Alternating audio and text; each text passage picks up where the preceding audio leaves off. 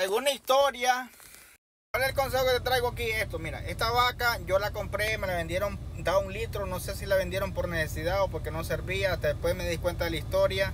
Cuando ya me parió el segundo parto en la finca disparaba 10 o 12 litros, según los muchachos me contaron. Este, el consejo es que no venda una vaquilla en el primer parto, que porque te salió mala, no baja la leche, la voy a vender porque es mala.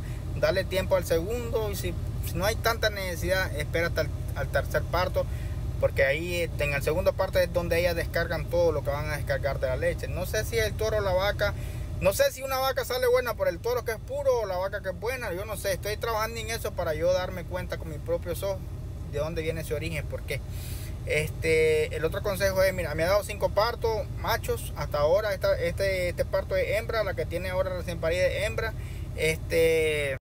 No sé si fue por suerte que da 12 litros, no sé si fue por el segundo parto que descargó, no sé. Ya tú